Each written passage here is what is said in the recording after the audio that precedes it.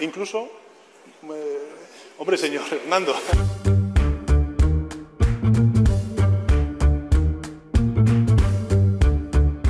No den lecciones de españolismo, ni de patriotismo, ni de constitucionalismo.